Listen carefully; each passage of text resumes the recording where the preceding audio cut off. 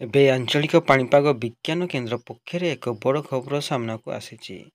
ବର୍ତ୍ତମାନ ଯାହା ସୂଚନା ମିଳୁଛି ଆଜି ଚବିଶ ଘଣ୍ଟା ମଧ୍ୟରେ ଓଡ଼ିଶାର କିଛି ଜିଲ୍ଲାରେ ଘଡ଼ଘଡ଼ି ସହ ବର୍ଷା ହେବାର ଆଶଙ୍କା ରହିଛି ଏବଂ କିଛି ଜିଲ୍ଲାକୁ ୟେଲୋ ଆଲର୍ଟ ଜାରି କରାଯାଇଛି।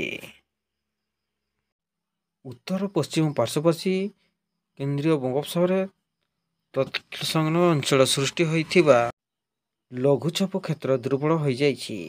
ତେବେ ଏହା ସହିତ ଜଡ଼ିତ ଘୂର୍ଣ୍ଣିବଳୟ ଆଜି ମଧ୍ୟ ଦକ୍ଷିଣ ଆଭ୍ୟନ୍ତରୀଣ ଓ ଏହାର ପାର୍ଶ୍ୱବର୍ତ୍ତୀ ଅଞ୍ଚଳରେ ସକ୍ରିୟ ରହିଛି।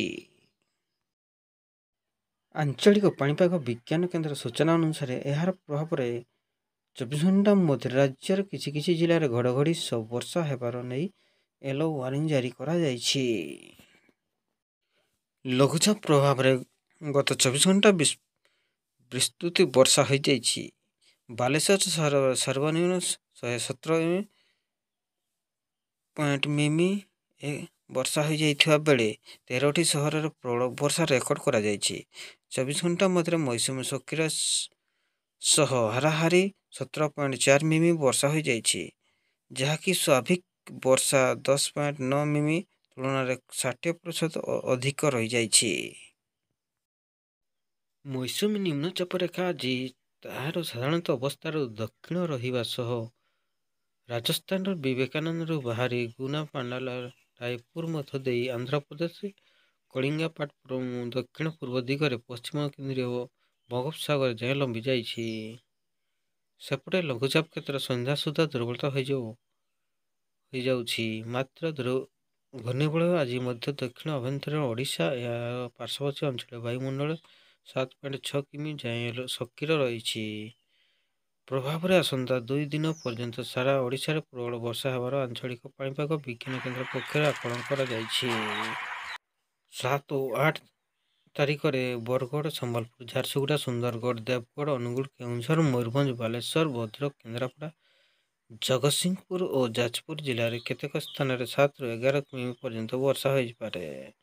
ଆଠ ଓ ନଅ ତାରିଖ ମଧ୍ୟ ଉତ୍ତର ଓଡ଼ିଶାର କେତେକ ଜିଲ୍ଲାରେ ବର୍ଷା ହେବାର ସମ୍ଭାବନା ରହିଥିବାରୁ ୟେଲୋ ୱାର୍ଣ୍ଣିଂ ଜାରି ସହ ସତର୍କ ସୂଚନା କରାଯାଇଛି। ଅନ୍ୟପଟେ ରାଜ୍ୟରେ ନିଅଣ୍ଟିଆ ବର୍ଷା ଏବେ ବି ଜାରି ରହିଛି।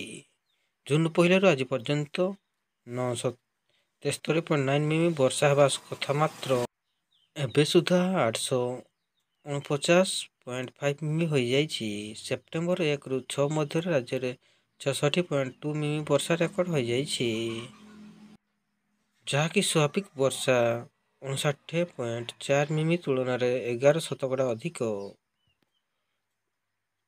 ଏଗାର ଜିଲ୍ଲାରେ ନିଅଣ୍ଟିଆ ବର୍ଷା ରହିଯାଇଛି। ନବରଙ୍ଗପୁରରେ ସର୍ବାଧିକ ଏକଚାଳିଶ ଶତକଡ଼ା ନିଅଣ୍ଟିଆ ହୋଇଥିବା ବେଳେ କଳାହାଣ୍ଡିରେ ସଇଁତିରିଶ କେନ୍ଦ୍ରାପଡ଼ାରେ ଚଉତିରିଶ ଗଞ୍ଜାମରେ ଅଣତିରିଶ ଜଗତସିଂହପୁରରେ ସତେଇଶ ରାୟଗଡ଼ାରେ ପୁରୀରେ ଛବିଶ ଯାଜପୁରରେ ତେଇଶ ଖୋର୍ଦ୍ଧାରେ ବାଇଶ ବଲାଙ୍ଗୀରରେ ଏକୋଇଶ କୋରାପୁଟରେ କୋଡ଼ିଏ ଶତକଡ଼ା ନିଅଣ୍ଟିଆ ରହିଥିବା ପାଣିପାଗ କେନ୍ଦ୍ର ପକ୍ଷରୁ କୁହାଯାଇଛି।